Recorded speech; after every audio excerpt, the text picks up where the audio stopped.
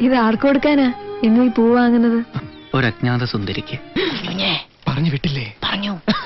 Thank you thank ആത്മാർത്ഥ ഹൃദയബന്ധങ്ങളും പ്രണയാർദ്ര നിമിഷങ്ങളും അവതരിപ്പിച്ച് പ്രേക്ഷക ഹൃദയങ്ങൾ കീഴടക്കിയ റൊമാന്റിക് സ്പെഷ്യൽ പൃഥ്വിരാജ് കുഞ്ചാക്കോ ബോബൻ ജയസൂര്യ മീര ജാസ്മിൻ ഭാവന ചിത്രം സ്വപ്നക്കൂട് ചൊവ്വാഴ്ച രാവിലെ എട്ട് മുപ്പതിന്.